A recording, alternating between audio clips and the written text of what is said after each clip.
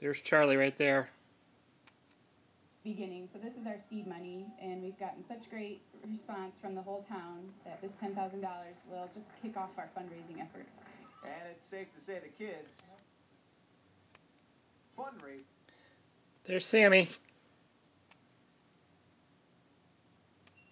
is a big success. Hey, what do you guys think of a water park?